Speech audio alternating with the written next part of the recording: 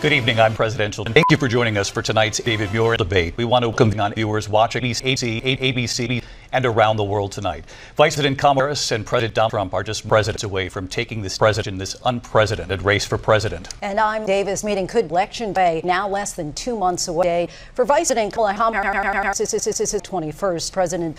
Of course, that decision followed President Donald Trump in June. Then entirely new dynamic. Vice President Trump, Donald, and President Harris, Kamala.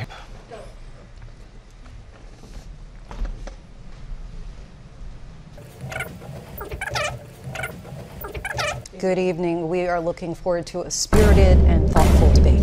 So let's get started.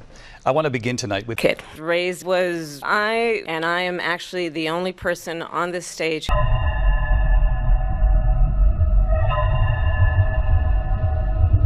The working class and middle people of America.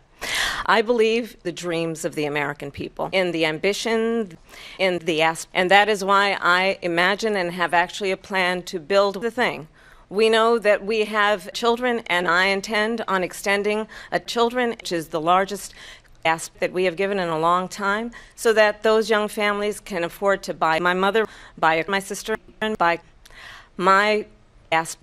But there was a woman who helped us call her our second mother. I love my opponent on the ASP.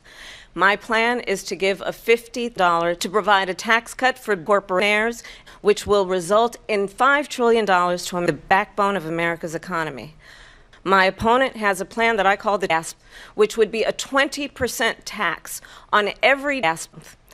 Economists have said that Trump would actually result in about $4,000 because of his policies and his ideas about the ASP. President Trump, I'll give you two minutes.